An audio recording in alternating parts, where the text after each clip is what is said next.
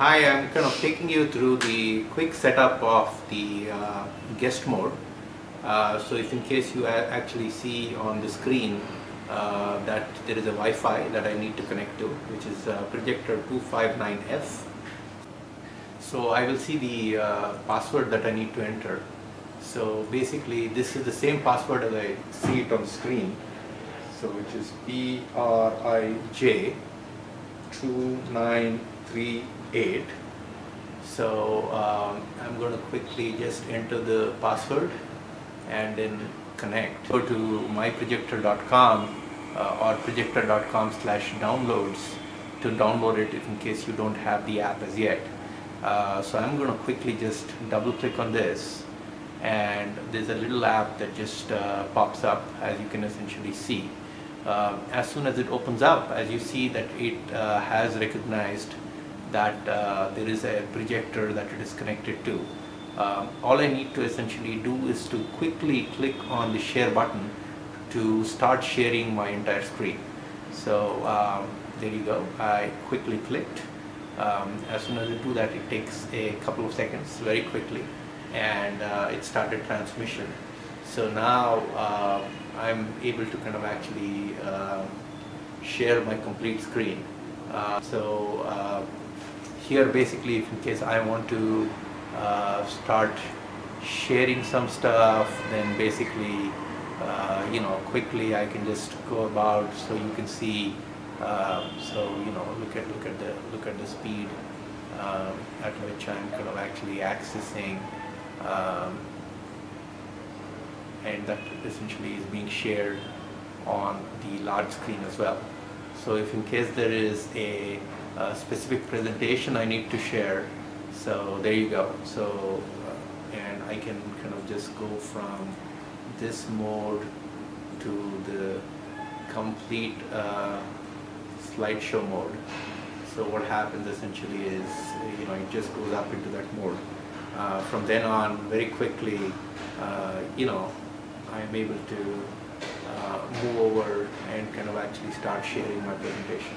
So I can move back, um, I can move forward. So I mean, you know, it's it's, uh, it's pretty simple, right?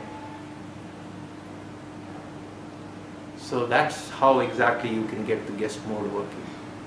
And uh, whenever you're kind of actually finished, you just open up a YouTube video. Uh,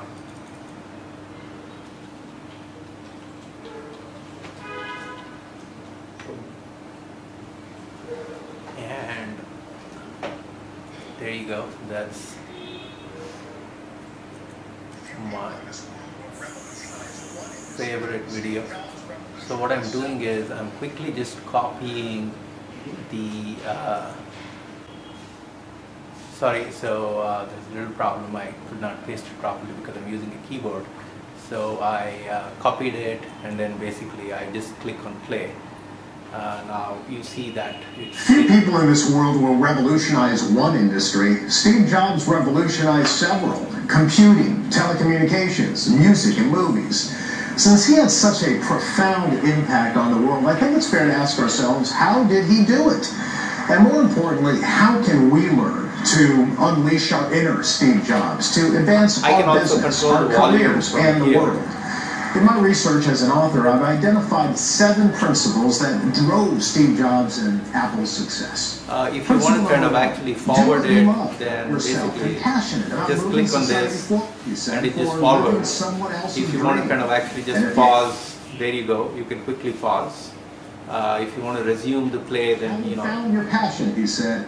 Keep looking. Don't. And you know, if you want to rewind once again, you know, it just goes back, and I can play.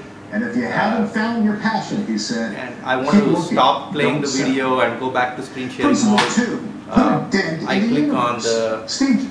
on that button, and then it comes back here. So. Uh, it's, it's pr pretty simple, uh, so kind of go and use it and uh, give us feedback. We're constantly working on uh, improving uh, the product and most of these improvements will essentially be over the air updates.